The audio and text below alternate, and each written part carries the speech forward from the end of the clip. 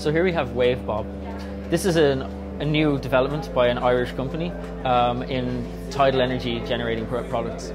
Um, it's a very interesting product because they can be deployed offshore in, a, in, a, in a, an almost mini fleet of um, bobbing wave generators. Um, this one is unique uh, in tidal wave generators in that it can cope with incredibly turbulent seas. And so, as we all know, the Irish Sea is very uh, turbulent at the best of times. So these um, offshore generators can power, uh, collect up an awful lot of energy, send it to a battery at the seabed, and then that can plug back into the national grid. A major problem with uh, harnessing tidal energy has been the disparity between heights and waves technology that we have now that's widely used um, in other countries um, generally will shut down when waves get too high because the, uh, the manner in which it, they operate is too delicate to deal with very high waves.